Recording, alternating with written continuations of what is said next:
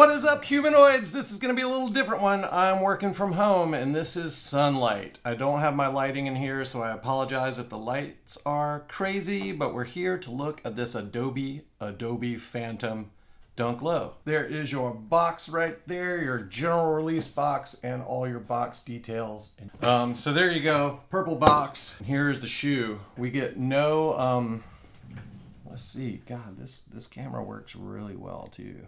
Dudes, I could probably roll this with just one camera today, but I just like having the second angle right there. Look at there's your toe down. You see there's a canvas material on the top quarter panel right there. The top of your toe box. No perforations for breathability because the whole thing is canvas, but that's kind of different that there's no perforations on that thing. So kind of cool. You got a really nice suede toe cap, turn and stitch toe so you do have the ollie protection. A lot of you guys have been complaining that a lot of the quick strikes don't have the turn and stitch toe cap or the ollie flaps for protection.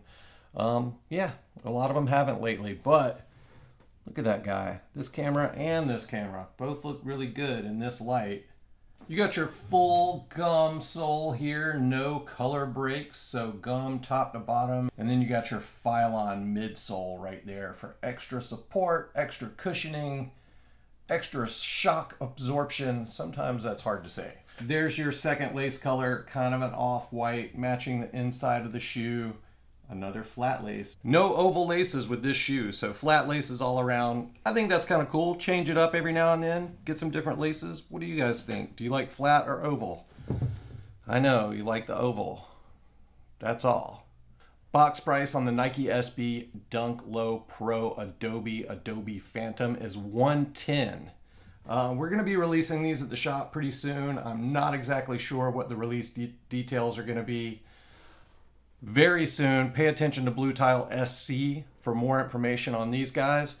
Sorry about the crazy video. The next couple videos are going to be right here in my room. So, um, yeah, did I even need two cameras for this, guys? I don't know. But this is part of a bigger pack. I believe we order these things so far in advance. I can't really remember. But um, I believe there is a story that ties all this together with like building jump ramps and DIY spots and fixing stuff with Bondo, etc., etc. This is actually modeled after the color of Bondo when you're patching up a skate spot. like if there's a crack in front of a set of stairs right before you, right where you would ollie, you'd patch it up with Bondo. This is the color you would get when it's mixed properly I think it's a little lighter than this, honestly, but I think uh, it would be too pink if it looked exactly like Bondo. But this, that's what it's inspired by. You can see the insole here with all the different DIY type spots. You got your Nike SB Zoom Air insole. What is what is this telling you? Not not to smell it. Is that a nose? What is this? This is a Nike. It's got a cross through it. Maybe you don't put Bondo on handrails. Maybe you do. Uh, you definitely don't put it on your shoes, but maybe you got some shoe goos. Maybe there's some shoe goo stuff coming out, but here's a good example of maybe bondoing the bottom of a jersey barrier. And then you would have your, uh, your spot, your skatable spot. That's your insole. There is your Zoom Air airbag, and there is your Poron forefoot for more shock absorption. This shoe has all your skatable bells and whistles. So if you missed out on some of the, like the HUF, the Lobster, the eBay, all those things, which have pretty much been what's coming out lately, there are no bells and whistles to make the shoe more skatable except for the Zoom Air heel, heel pad. This one does have your, your ollie protection right here so you can put those laces behind there and protect these flat laces. Those are flat laces, not oval laces. So a little bit different.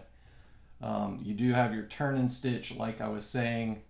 And if you can see in there, you got your memory foam heel pods. And that little red dot is the Adobe colored Phylon midsole poking through. So one other thing I don't mention very often is these little elastic uh, tongue stabilization straps. Those help the shoes stay on your foot even if you pop your laces, but it also helps your your tongue from twisting over to the side, which is amazing. I I now hate if a shoe doesn't have that little elastic strap on the tongue. I hate it. I can't wear them because the tongue always ends up on the side of your foot. So something here that you look at this. I just want to show this in this camera. Look at there. Little um extra embroidery around the lace holes at the top. That's kind of different. I don't know why they did that, but it looks kind of cool. These materials look really good. Super, super skatable materials on this one, except for maybe right here. I know like tray flips, sometimes you kind of rub across the top of your toe. So maybe that's not super ideal, but this shoe looks awesome to skate in. This is your Adobe Dunk Low Pro. Yeah, Dunk Low Pro. Like I said, guys, no on foot this time. They're probably true to size, but I always do this on my community tab. We'll do a poll to see what everybody says about how these fit. I think it's gonna be true to size. Probably gonna be true to size. I'm gonna wrap this video up right now and just make this one really, really quick. This shoe is 110. Stay tuned to Blue Tile SC on Instagram for release details. They'll be releasing soon. Um, I hope this video wasn't too weird. I wanted to get this done and I've been at home for the last three days. So there you go. Boom. There you go, guys. That is it. That one's been pretty sought after. A pretty good dunk to close the year on, I think. Um, we also got those green dunk highs, so that'll be coming tomorrow. Uh, stay tuned for release details on that as well. Thank you guys for watching. Thanks for putting up with the madness and the home studio. This is where I work when I'm at home. But I haven't been able to. I had to reorganize this whole thing this week. So anyway, thank you guys for watching. All the best. Love Blue Tile. Goodbye.